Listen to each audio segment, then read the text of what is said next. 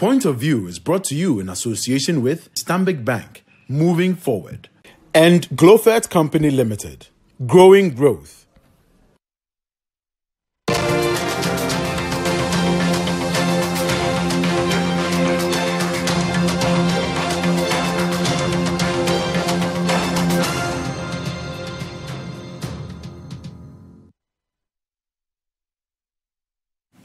Hello, this is The Point of View. We're on Citi TV every Monday and Wednesday. The Point of View is your favorite current affairs show, and we get the right guests, ask them relevant questions, and always come up with some useful insights. We have a very important program for you tonight. It appears there is a fight for the soul of legal education in the country. It dates back to maybe half a decade ago. Lots of controversial issues have happened with our law school. And tonight we're trying to understand the genesis of these crises, the various perspectives to the matters, and of course your views on this very important topic. It's live and interactive, so if you are on social media, our hashtag is point of view. And of course, we are on Facebook at CitiTVGH. My name is Bernard Avle. When we come back, I'll tell you more about our show today.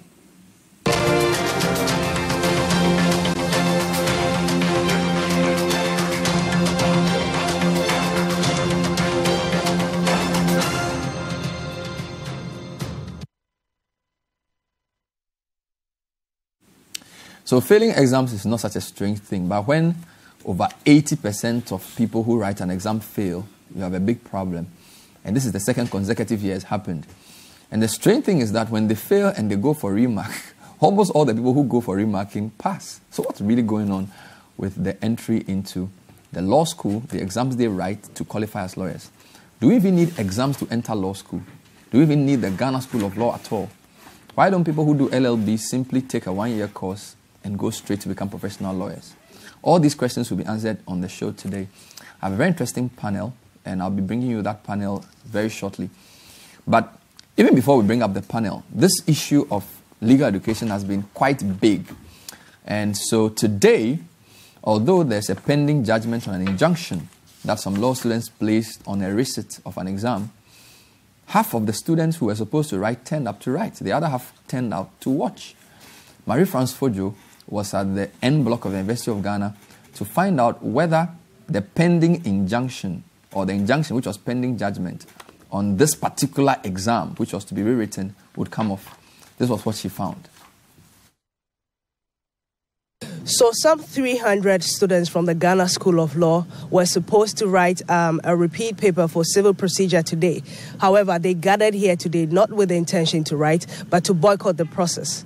However, at 10 o'clock, which is the start time for the paper, more than half of the students who were gathered here in intention to boycott the paper went in to write the exam. The exam went on as planned amid heavy security presence. In addition to the campus security, Police officials and armed personnel from the counter-terrorism unit were stationed at the N block where the exam was ongoing. Three hours later, the paper was over. Some of them shared their reasons for going ahead with the exam, despite the injunction and a plan by the repeat students to collectively boycott it. This uh, communique came very late when we have decided to come and write. It was about two days ago, uh, let's say on Saturday that uh, they created a platform, and on the platform, they asked us not to go and write the, the exams. But then we had already circled our minds that we are going to write. I have prepared. So why two days we come in and uh, we heard that some of them have actually deferred their uh, the course to next year. So if you have secretly deferred and I have not, you come and tell me that I should not go and write. You are not being fair to me. Some of our colleagues decided to boycott because uh, they were part of a group that uh, went for remarking. And then the court, they went to court for interpretation on some issues, and it looks like on Friday they placed an injunction. So they are covered. I, I am not part of those who went to the court. So, uh, uh, uh, in principle, I wasn't covered. So, I had to come and write.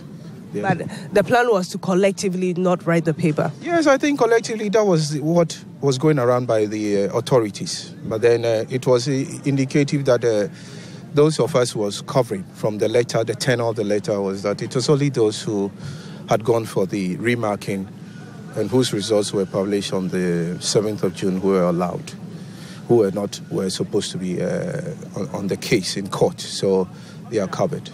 The few who stuck with the plan had one reason. The court injunction on exams renders today's examination an illegality. I am very, very scandalized what is happening now in Ghana on legal education. It is only uncivilized nation that will treat its fellow citizens like this. Some people want to study law to help advance social progress. And look at how we have been handled. You have seen police presence here as if we are at war. I mean, examination is not execution.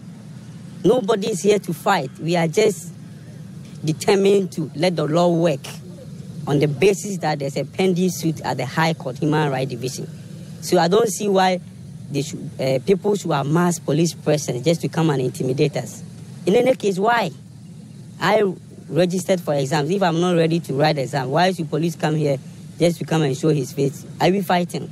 Some of our colleagues are in there primarily because the school has been inactive and has been silent, even though they received notice of this action last week, mm-hmm. Thursday, and even on Friday, when a motion ex parte was being heard, the registrar of the school was in court, although they were not supposed to be there because the motion was not on notice. So they are aware, they are aware of what is happening. Uh, I'm, I'm part, but I've decided not to partake in it again. Okay, but some of your colleagues have gone ahead to take the exam. How does that make you feel? Um, every human institution, you have people who will divert on the way when you are soldiering on. You have people who fall. So it's not it's not a surprise. Yeah, they can go ahead, but we must stand for the principles in which we support. The time given for writing the exam, which is 10 days, was too short, and we believe that it was unreasonable and unfair. The service of the motion on notice, injunction motion on notice itself serves as, a, as an injunction. So they are restrained from conducting the exam. Okay, so that means this is an illegality? Yes, it is an illegality. Okay. Perpetrated by Ghana School of Law and the General Legal Council. So, what do you make of those who have gone ahead to write? Um, we are actually disappointed, but uh, we don't. It, uh, we also know that it's, it's, out of fear. We've seen how students have been treated unfairly in different uh, previous times, and the fact that students are also afraid of victimization. Many of the students are very much displeased with their colleagues who went ahead to partake in the exam. However, they were not able to tell me on camera for fear of victimization. We'll be following the court case, and the ruling is expected to be tomorrow. We'll await the outcome. Reporting for Citi News from the University of Ghana, Legon campus, my name is Marie-France Fiawoo. So this uh, situation was is the latest in a series of interesting events. So tonight, what I'll try and do is give you some history to these challenges. In fact, one of my guests has written a very interesting article where he spells out the history of legal education and even the purpose for setting up the, the Ghana School of Law. So we'll try and run through that. But as I always do on topics like this, I want to show you a quick flavor of online stories. If when you, when you do a, a quick Google search of law school or Ghana School of Law, there, will be, there are so many stories that will come up. And it tells you how topical this issue has become. And incidentally, I read on channel television earlier today that they have their own problems with legal education because half of the students in Nigeria had failed the, the bar exam. So half of them passed, half of them failed. 50.2% passed, and about 49% failed. But at least that's still better than Ghana. if you go to Ghana, there are all kinds of stories. Halt Ghana Law School entrance exam group to government. This is just last week. Reduce Ghana Law School uh, marking fee. Parliament to Ghana General Legal Council. No conspiracies in law school exam reforms. Nana Akufo-Addo. Collapse Ghana Law School, Established Council for Legal Education, lecturer. Nana Addo petitioned against, again, over law school admissions. That was the second time it was petitioned. Supplementary law school entrance exams are unconstitutional, according to students. GBA wants probe into alleged law school exam leakage. That was July last year. Students to petition Chief Justice over law school exam leaks. Also July last year. Supreme Court throws out injunction against law school entrance exams. July last year. And Professor Asare's law school exam entrance application suffers setback. In fact, that's one of many pages. So if there are lots of stories, about 40 stories on this. So just to let you know, this is an important topic. So who are my guests? I have um, sat opposite me in on our new set, Kobe Amwa. He's the immediate past president of the Ghana School of Law Students Association. Yes. Great to have you, Kobe. Student Representative Council. SRC. Yes. Great. Good to have you. Sat next to him is Professor Kwaku Asare. We like to call him Kwaku Azar. Kwaku Azar, good to see you again. Thank you so much. I had Good to see you again. I had you last July, and you are back here. Annual visit. A luta continua. Annual visit. I like your hat too. Thank you very much. And my old friend Ken Kuranchie, he's a journalist, he's a farmer, he's a law student. he's also going to be an author soon. How many things are you doing now? Uh, well, I'm, I'm doing quite a lot. I'm also establishing the first the first educational institution dedicated to wealth creation in Ghana. I'm, I'm doing quite a lot of things. Ken at the same Kuranchie. time. Yes, it's good to see you. So, Ken is representing the Coalition for the Reformation of Legal Education. Yes, please. So, they also sent an issue to court. But I want to start with uh, Kobe. So, this case that Marie France reported on, it was to have been uh, ruled on tomorrow, which is Tuesday. I- Is that correct? Yeah, the motion, the motion will be moved tomorrow. Tomorrow. So, we don't even know when the, the, the determination will be done. Uh, mostly with injunction applications and special of this nature, I'm sure we, we- by tomorrow the judge will make a determination. So for those who don't know, why did, what what are you seeking? What are what are you seeking this motion uh, injunction for? Okay, uh, because there are issues in court, I won't like to comment much about. It. Just explain it to us. Don't yes, don't give us the- answer or what you think. Just tell us what you sent to court. Yes, so the the motion is to injunct the examination process. So injunct the whole examination process due to the time that students were given to prepare. Results were released in February on the February 19th. And you see, the per the calendar, when results are released and students are supposed to repeat. If you are repeating an academic year, it means you start right from the beginning. But due to certain difficulties that the school and the Independent Examination Council had, the results which were supposed to be released before the academic year starts so that students, new uh, and repeat students will be able to join the new students, start the whole academic year afresh, was released on the 19th of February. Then the opportunity for remarking was given for a period of 21 days. So after the 21 days, and per the student handbook, it's expected that every student, after you petition, within five weeks of your petition, you will be able to get results of your petition. So those who petitioned on the 20th of February, we're expecting their results latest by the 28th of March, thereabouts. And so that, that, that's, that's, that's, that is how it was. But unfortunately, council or the Independent Examination Council was not able to release the results early. The results came out on the 7th of June, this month. Wow. Then on the 7th of June, the same 7th of June, the school came out to a communique that students should students who were awaiting their remarking results should register on the Monday. That's on the should register within Monday the 10th, Tuesday the 11th, and Wednesday the 12th. To recite To papers which papers. would not be successful with the remark. Yes. But how would they know whether they have been successful or not? Exactly, unless the results were released. And the exam was to start today, that's the 17th. Okay. So that means the students just had a 10 week, 10, 10 day, day window, window to prepare. To prepare. And we thought that's, that, that, that, that will be, that will, uh, it's going to put a lot of hardship on the students. These, mind you, these students start in class for one year and they're not able to pass these courses. And especially repeating students who has, who has confirmed his status as a repeat student on the 7th, being asked to write an exam on the 17th. So per the process, if you wanted a remark and you wanted an appeal and all that, you would only know your status on the 7th of June. Exactly. So you had 10 days to prepare. 10 days to register and prepare. So were you asking for, did you, did you, did you ask for a specific extension? Yeah, we are looking for about two months because the results itself was released about two months. Now, when students are going for remarking, they make certain calculations. Now, you know that when you are going for remarking and your results supposed to be released within five weeks, even if it comes and doesn't go well, psychologically and uh, physically, you'll be able to you'll be able to tune yourself, adjust to the system, then study and prepare for the exam. So yes, some some students will be looking at their period for remark, you know, okay, the two months will be okay for me to do that. And other students also think that even with the whole remarking trauma, I'm not going for it. Let me just prepare and write my exam. But after everything, as I said, the results were released on the 7th, and students were expected to write the first particle procedure today. I see. So What type of exam is it? For those who don't know what it is, is it like objectives? Is it written papers? Because there are different subjects, right? Yeah. So what, what, how long is the typical paper? The papers usually last for three hours. Three hours. Yes, they are, we don't write, we don't do objectives. So, So mostly written- they are all written, and maybe the draft parts and calculations for legal accountancy. So how many students were affected by the resit? Uh, initially, the numbers we had there were 414. That's when the results were released on 19. There were 414 repeat students. But due to the nature of the, to how the, the current results were released after the remarking, they release course by course on a course by course basis. So it's difficult for us to ascertain the number of students who still through.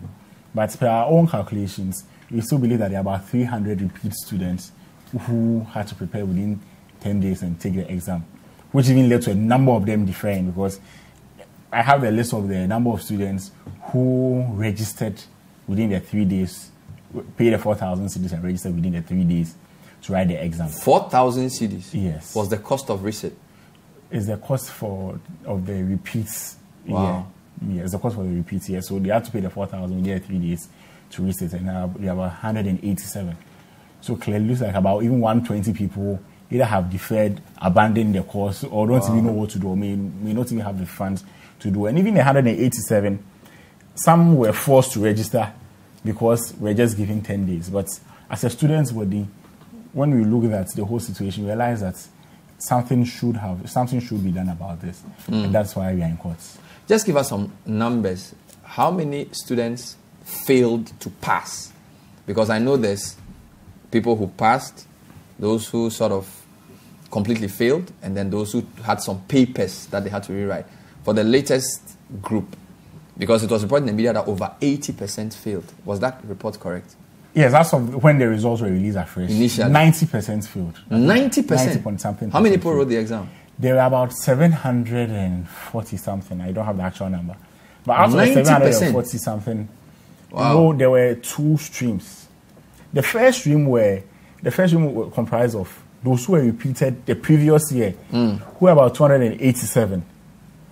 And those 287 students, together with the with our our year group, we we all wrote the exam. Mm. So with with our year group, only 64 passed. With Out of 287? No, out of about 500 and something. Wow. Only 64 passed. And with their year group, that's 287, only 8 of them passed. Are you serious? Yes. 64 out of over 500, 8 out of 287. Yes. So putting that together, that's like 74 I have the actual statistics here. Can- out of. I can. yeah, I, I really need it because I, I'm trying to give people a certain basis for what is going on.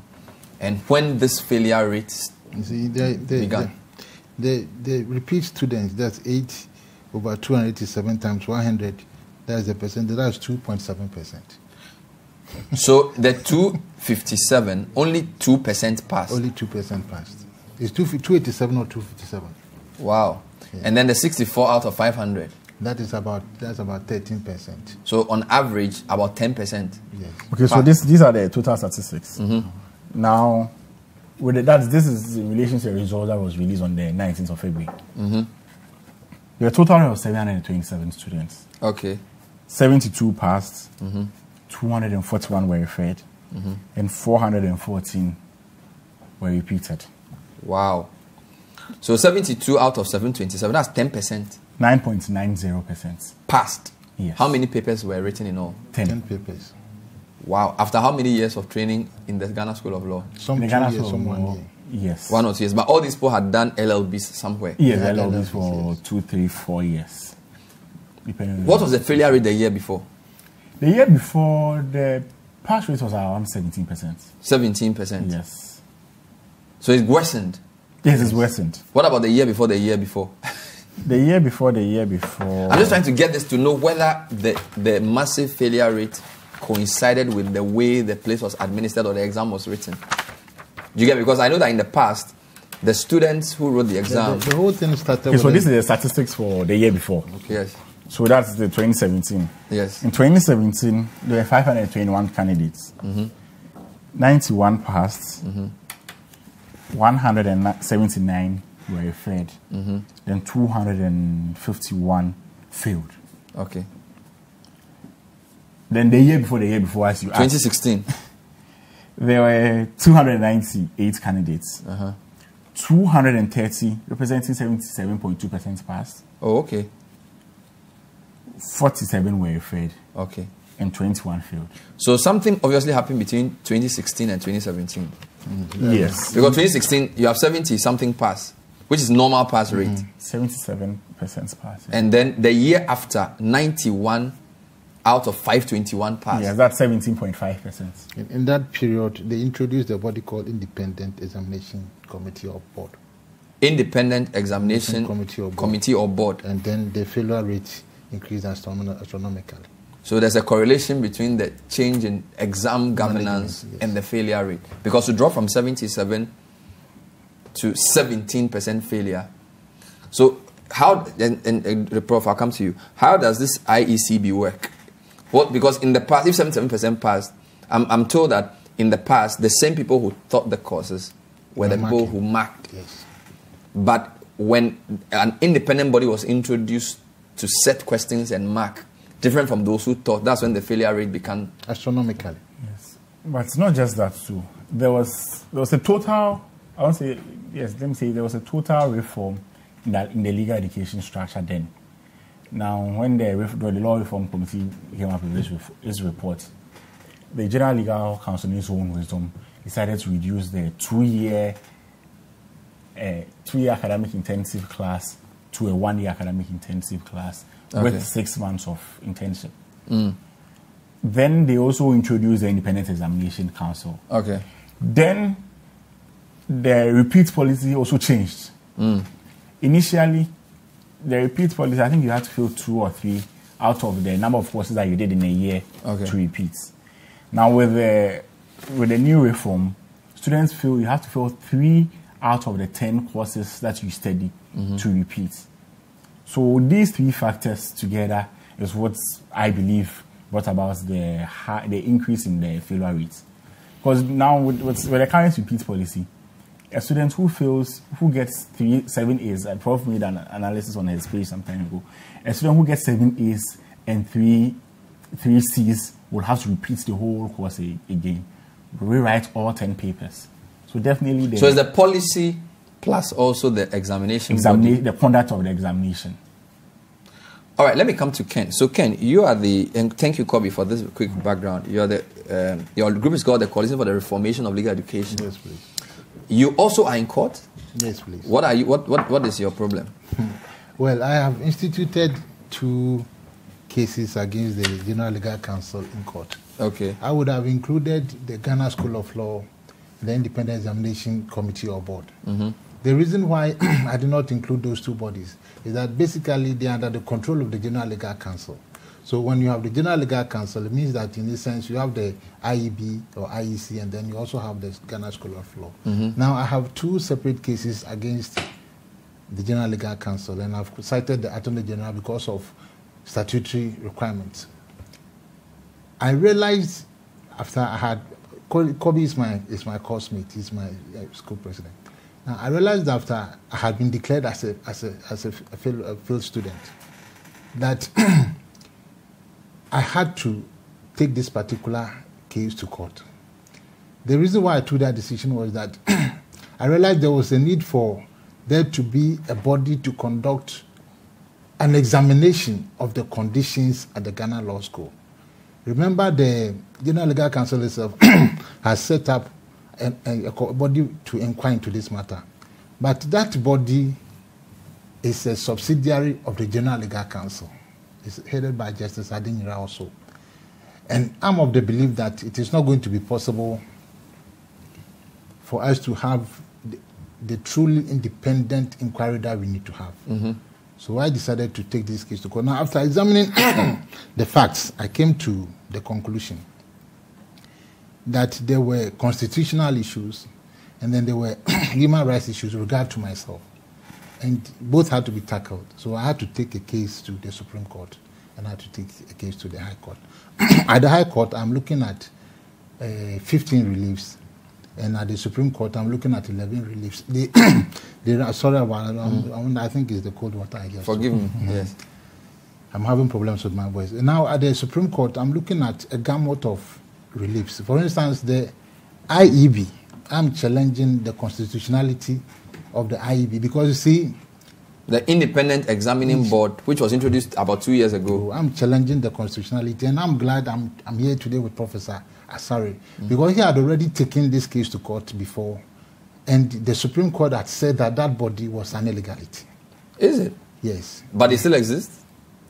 After the Supreme Court had decided that that body was an illegality, then the General Legal Council and the Attorney General went back to Parliament and introduced what we have, what we call the LI 23 LI 2355. This is, this is it, LI 2355. That then reintroduced the Independent Examination Board, mm-hmm. now as a statutory body.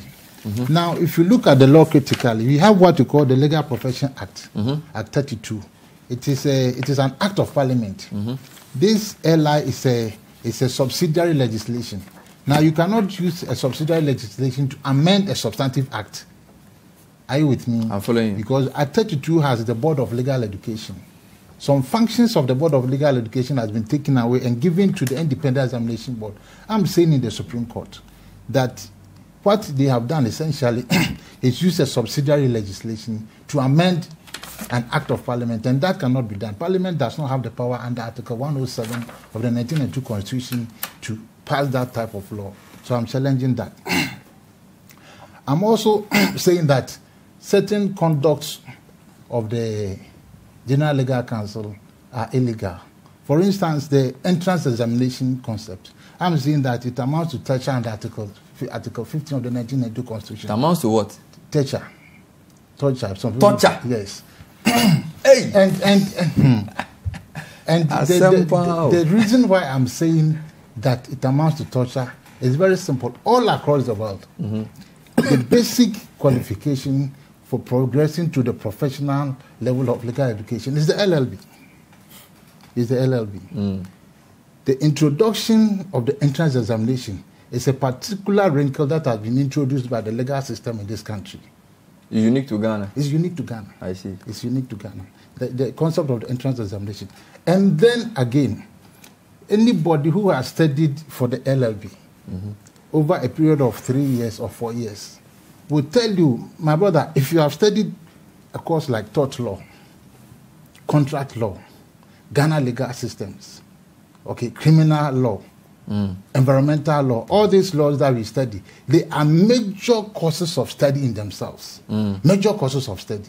To, to, to be able to pass contract law, you have to learn hundreds of hundreds of legal principles, hundreds of cases, hundreds of facts, be able to blend them together before you can pass the entrance, uh, pass the contract law examination. Mm. What the entrance examination does, does is put together 10 major law courses and blend them into one particular examination.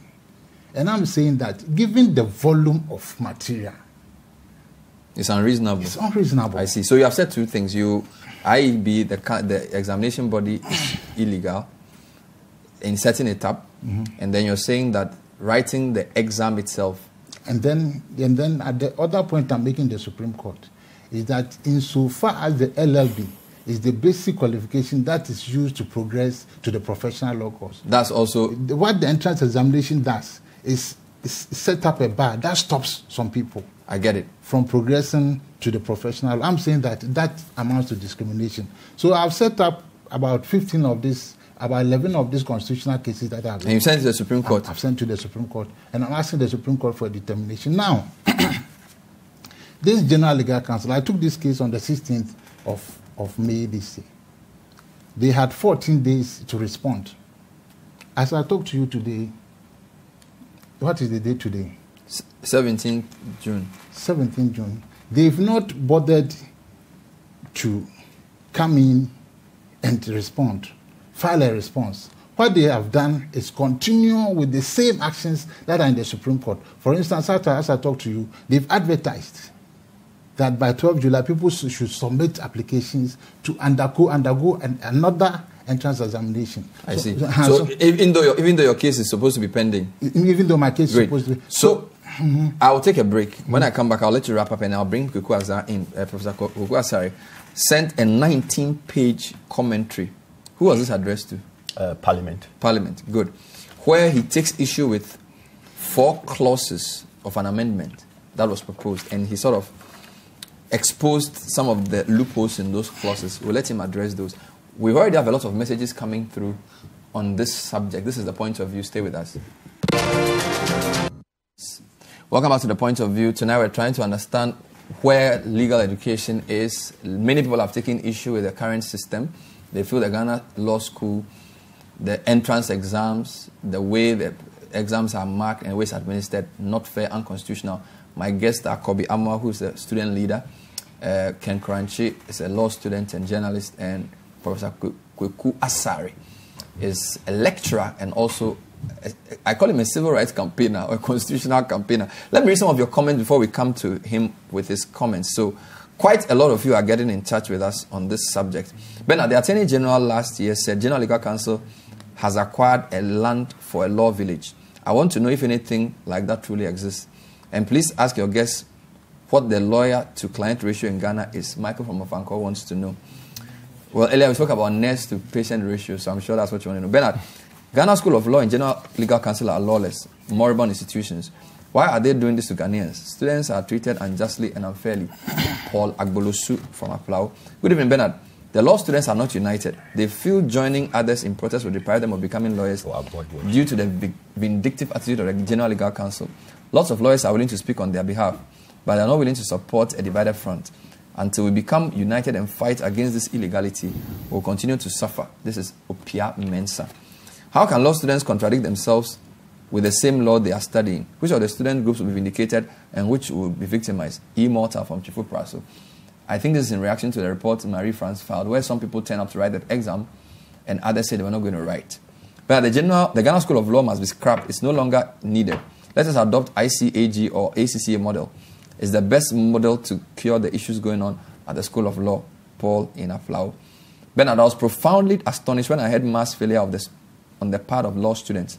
It's, is it because the students deliberately set, sorry, is it because the school deliberately set difficult questions with intent to fail students, or the students are just not serious? Father SK from Kumasi. Well, it's interesting to know that a large percentage of those who went for remarking passed. So maybe it's the marking. Is it not? What percentage of the of the, those who went for remarking passed?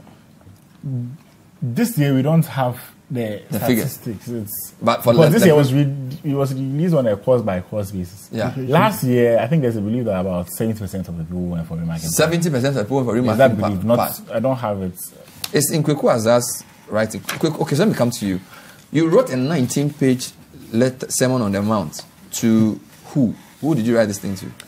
Well, to the parliamentary subcommittee that oversights legal education. And uh, I believe that will be the constitutional committee. And the reason I wrote that was because there is a proposed amendment of the Legal Profession Act. Okay. And uh, I was giving them some comments on what need to be taken into account. Mm-hmm. Now, Bernard, the legal problems that we are talking about Mm-hmm. They become like the Accra rain. we know it's going to rain in June and May, and we know when it rains, it's going to flood. Mm. But we wait and we don't do anything about it. And when it floods, we say a few things about it, and then we forget until next year. Mm. That's exactly where we are with this legal education system.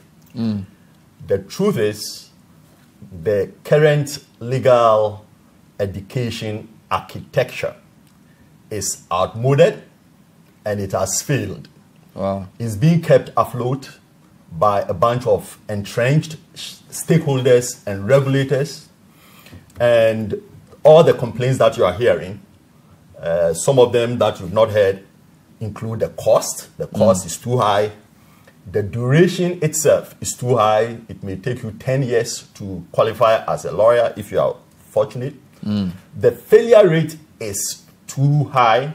they talked about a failure rate of 10%. That's actually higher than the actual failure rate because when you want to talk about the failure rate, you have to include all the students who have not been even given the opportunity to take Mm. the exam. So you, every year we have about 3,000 people, and out of the 3,000 people, they use all kinds of screening mechanisms to select maybe 600, maybe 700, and out of that 700, we are talking about only 10% passing. So if you if you think about the 3,000 who start, then every year 300 or less of the 3,000 are coming out as lawyers. If you took any process, making food, uh, sewing clothes, whatever, and you were working on 3,000 things, and at the end of it, only 300 came out well, you should be fired immediately because that means something is structurally and fundamentally wrong. Look at today, the exams that they were taking, and look at the police presence. It's just a law exam. Why do we have this significant police presence to intimidate the students or what? Look at the injunction that Kobe talked about. They were in court on Friday, and the judge assured them, mm-hmm. including the lawyer, and I saw a comment written by the lawyer to the effect that the ex parte motion that they were bringing was superfluous because their motion on notice should operate automatically to bar the General Legal Council from giving the exam today.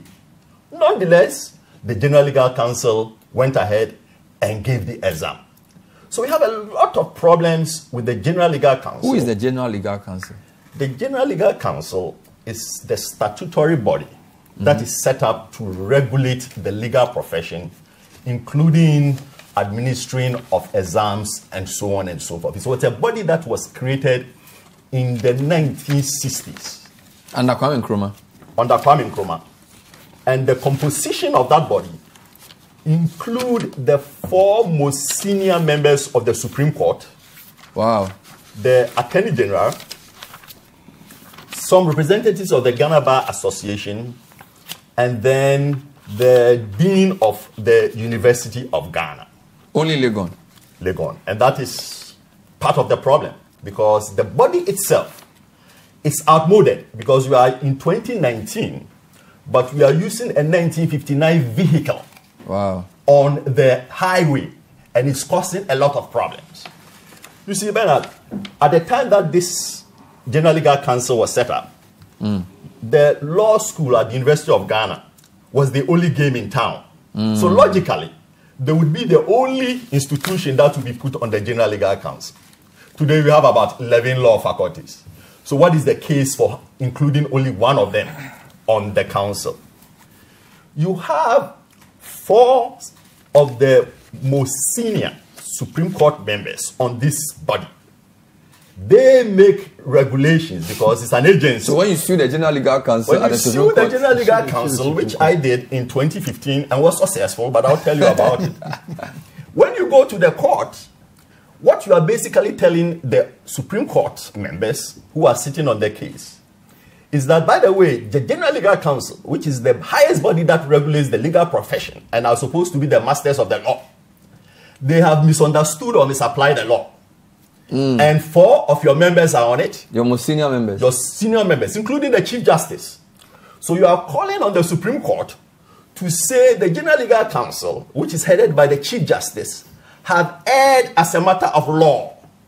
And Bernard, as a plaintiff, that is a very intimidating.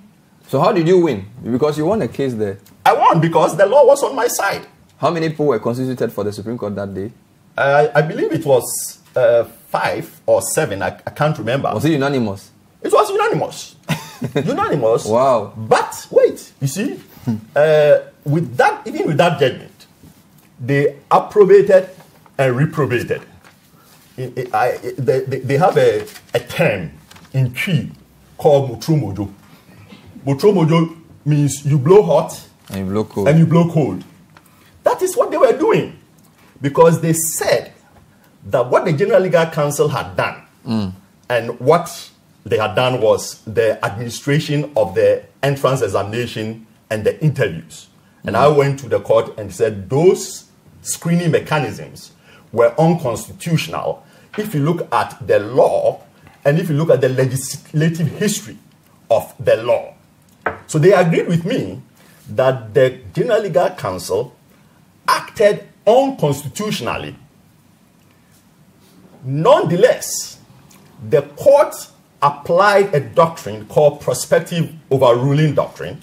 They misapplied it, by the way, and in the article, uh, the commentary that I sent to Parliament, I have a, an article uh, that uh, is coming out in the Journal of African Law, mm-hmm. and I explain why they misapplied the doctrine. They misapplied the doctrine very badly, but they issued something that uh, technical. I don't want to get too technical, but it's called consequential orders. And the consequential orders said to the students, even though the exam is unconstitutional, go and take it anyway. That's basically what we found ourselves, the situation that we found ourselves in 2017. On June 17, the court said the examination is unconstitutional. There was a, a forthcoming exam, I think, in July. But the court ordered the students to go and undergo this unconstitutional and incidentally, exercise. it's a year ago today. It's a year ago today, yes. So even the court, you see, when they are saying the General Legal Council, yeah, 2017 is, uh, General Legal Council is wrong and have acted unconstitutionally, they find some ways. But if the General Legal Council is outmoded, based on your view, it's not fit for purpose, it's not up to what we require today in this constitution and composition, who are you going to appeal to? Because, as you said, the Supreme Court is the top four judges there are on the council. The Chief Justice is there, the Attorney General is part, the Director of the Ghana School of Law will be part, and of course, the, the, the Dean of the Legon Law School yeah, Ghana of Law. is not part. So, It's in attendance. it's right? an attendant on Not part. Yes, so my, my question is that who will bail the cat? Well, that's why I've written this thing to Parliament, because ultimately, Parliament exercises oversight over the General Legal Council. The General Legal Council is a statutory uh, agency, so it is accountable to Parliament. And Parliament can make a law which says you can't do this and you can't do that. So, uh, with this uh, amendment, they were doing four things. Number one, they were introducing a quota system. And the quota system will operate such that they will tell University of Ghana, you can only bring 20 students to the School of Law. Uh, University of Cape Coast, you can only bring 10 students, and so on. This is clause two. This is clause two. Clause one relates to lawyers who are qualified in other jurisdictions. Like I am a lawyer in the United States. If I wanted to move to Ghana and practice as a lawyer here in Ghana, I have to be admitted to the Ghana bar. And they are saying if I come, I have to, number one, go to school for one year. They call it post call. Then after the post call, I have to go and do this exam that we are talking about. And then those if I'm six very- months. And if I'm very lucky and I'm passed, no, no, no, I have to do one year pupillage. They extended it from There's- six, six months to one year. The, the, the bill, the proposed amendment, will extend it from six months to one year. So two years where I'm going to school and I'm doing pupillage. The third one, Irrespective of how old you are and how many years you are at the bar. how many years you've had at the bar, and whether or not So if you are called back to the New York bar and you are practicing at the highest level, you want to come and do a case in Ghana for which, or you want to resettle in Ghana, you have to still do pupillage. not just pupillage, but you have to do post call, take one year of classes at Makola. The third thing Wow. is they are trying to reintroduce the interviews, which Parliament threw away, and of course the entrance examination. And the fourth is this uh, independent examination uh, committee. Now, my solution is very, very simple. Look, the legal profession is not the only profession in Ghana. We have the accountancy profession. I'm att- happy to be an accountant too. We have the medical profession. And the accountancy and medical profession and other professions operate without anyone ever complaining. So the question is, what is so special about law that we are always complaining? Because lawyers like to talk. No, it's not because lawyers. You, just, you, No. move a book long. No, it's not because lawyers like to talk. You see, because if you look at the School of Medicine, the uh, medical school, originally it was set up like the law school. University of Ghana was the only school that was preparing students to go to Korle Bu. Yes. But over time, as more universities participated, they figured out a way to get the regulator out of the schooling. Okay. And the regulator only administers the medical uh, exam. Mm. And that's what the law profession needs to do. They need to close down the school of law. They need to outsource education to people who are trained to educate. Mhm. That is university professors. Mm. Take all your legal education at the universities because that's what the universities do. The universities have a comparative advantage over the Ghana School of Law in training people to think like lawyers. So you think that the Ghana School of Law shouldn't even be teaching, doing a one-year program? There should be no Ghana School of Law. You say you go to the University of Ghana or University of Cape Coast or Wisconsin or GIMPA or wherever and you do your LLB. The courses that you take, the regulator will indicate what courses you should take. And then when you are done, we would examine you to figure out whether you are competent in the law. Mm. So you will be given exams in constitutional law, contract, and so on and so forth. Here, when they go to Ghana School of Law, they are not tested in constitutional law and torts and contract. They are tested in courses. Uh, one of them is management. One of the exam questions that I saw that really freaked me out. They ask students who are attempting to become lawyers to discuss the three principles of scientific management theory. That is a question that if you ask at the College of Business, because I did business, we will laugh at you. That is a, that is a silly question. Uh, It, doesn't prove anything. It doesn't prove that you understand anything. It just proves that you've memorized a few things that you can put on paper. That's not how we should be training lawyers in the 21st century. But that's what would happen when you outsource the training of lawyers to people who are not professional educators because they don't have the training and so on. So, so even creating the IECB, IEC is not really a solution. No, no, everything that they are doing today, next year, I'll be here, we'll be back talking about it. Because we are not solving the problem. The problem is that we have regulators who have failed to respond to a changed marketplace. And they are holding on to old ideas that are no longer workable in the 21st century. I'll take I'll take a short break. When I come back, I'll find out what else we've tried because I know the president has spoken about this in, in, in respect of the exam failures. I know the attorney general has also been contacted. So try and find out what else the students have tried and what successes or otherwise have been talking. I have a lot of messages as well. This is the point of view. Stay with us.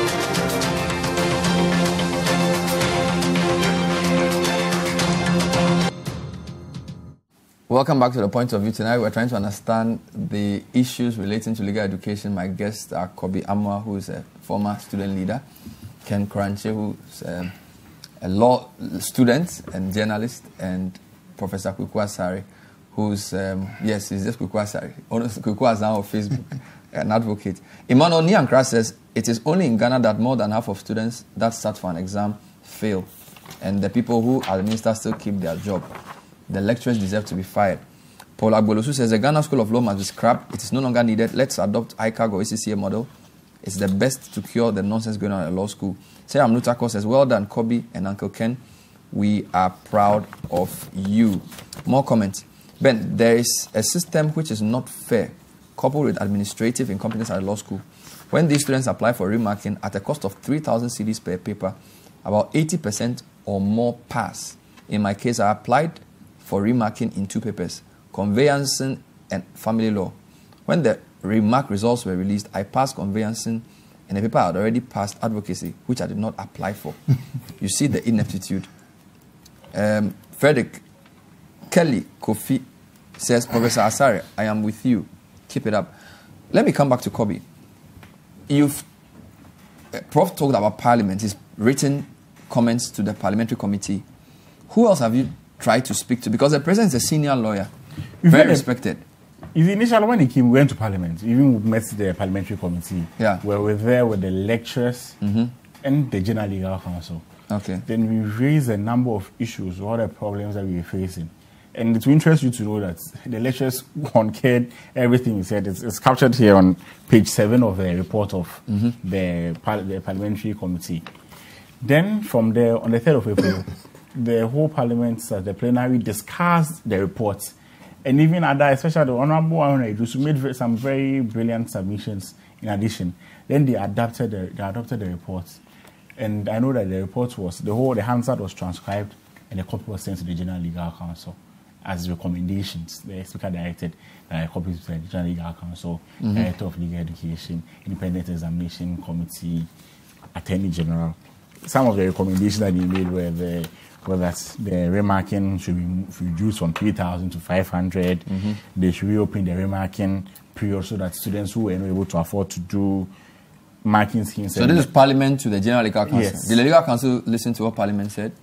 At all. They didn't even implement the one. only, the only the only change that we saw. Wow. But there was one change that we saw, and that's we have to give credit to the General Legal Council. In some of the courses that we complained that the questions were out of the manual, General Legal Council told us that they were going to conduct an investigation. In as much as we didn't get any reports from the investigation, we don't know what transpired during the investigation. When the results were released, we were told that some with, in some courses there was general remarking, Mm. and the students who passed those courses. So, so Parliament gave money. you hearing. Recommendations were sent to GLC. Only one major one was adopted. As- we didn't get any feedback, but that is what we, we, we saw Because by. reading what about the president? Did you meet the president? Yeah, so we met the president. We met him on the 6th of May. What did he say? When we met the president, in his in his view, things that the General Legal Council, in as much as we raised, he thinks that a number of the issues that we raised were legitimate and valid. He thinks that the General Legal Council is capable of handling it. Is it? So he wrote he wrote to the General Legal Council, which where it was, there was a confirmation of that from his secretary to us, that he wrote to the General Legal Council indicating our issues and asking them to resolve it in the nearest. I think there was I think there was even supposed to be a timeline. They should listen to you. What about the Attorney General? The Attorney General was in the meeting with the president, and uh, behind the scenes too, we've had a number of a number of uh, engagements with her, Mm. and she, I, I must say, has been very entertaining and responsive. Listens our- to you. She listens to us. She she responds to our engagements. But Ken, I, I want a final comment from you before I come to Prof. So, you your case, when is it going to be heard? Uh, well, so far, it has not been set yet for either case. The, the respondents have not come into the human rights case or the case. Supreme Court case. Yes. People are advising that they're going for judgment, whatever, but it's, it's very interesting. You see, you remember judgment. Do you, rem- do you remember judgment debt? When public officials are given positions to defend public positions, They have to come out. you have to come out. Mm. You have to come out. You have a responsibility. That is why you are paid that fat salary and that fat allowance. When somebody takes the government to court on a legal case, a constitutional case, the attorney general has a fiduciary responsibility to come and make a case. You can come and agree or you can come and disagree, but you must step forward. So you are waiting for them to do that. You- they must you don't want to go and get a, a judgment They- on one, which is one-sided. Yes, they, they must They step have to. forward. They must step forward. and and you see, my brother. just a minute. Uh, my brother Kobe talks about the Attorney General being very entertaining. I agree. What you must look at are, are the actual actions that Attorney General. So she's accommodating. She will listen to she you. She listens to you, but the Attorney General has sent an, an amendment of Act 32 to the to, to Parliament, and you should look at some of the conditions that are stated therein. The quota system, which is consti- completely, Which is what he's- which he's talking yes, about. Yes, yes. I've written. I've, I've also written a memo in the same direction to Parliament. Some of the requirements that they've put in Mm. that people have. So you don't think her actions support her posture? Yes, yes. Quick, because I have a minute. What What do you think? What What should we do? Just a, thirty seconds. Uh, the distinction between professional legal education and academic legal education is not valid. Mhm. And the distinction is the reason why we have the Ghana School of Law and the law faculties. Once you admit that that distinction is frivolous, then you are going to get solutions because you shut down the School of Laws. You have the faculties train all the law students, and Okay. everyone is given an opportunity to write a bar examination. Thank you very much. My guest, Kobe Amwa, a former student leader, Ken Kuranchie, law, law student and journalist, and Professor Kwaku Asare, who's a lecturer and also, I want to call him a human rights advocate or a constitutional advocate. My name is Bernard Avle. Thank you for watching Citi TV. Stay with us. Goodbye.